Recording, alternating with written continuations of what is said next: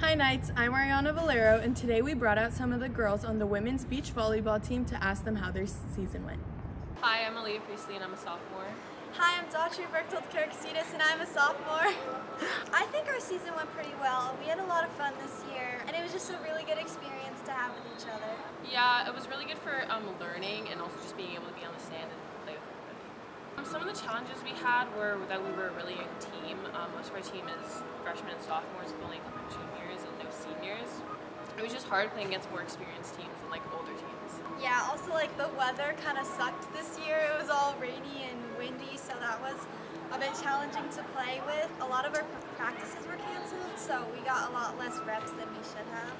I think the most important thing I learned this year that I want to continue on next year is um, just my skills. I increased them a lot this year during beach, and I think I'm I'm really excited to increase them next year. With more experience, I see us get a lot better, so I think it's going to be really fun next year. I just want to make sure that I don't take any reps for granted because a lot of the season again our practices were canceled, so we can get enough experience. I just want to learn how to take everything in and like keep it going throughout the years. Perfect, thank you guys. Thank, Thank you. you. One.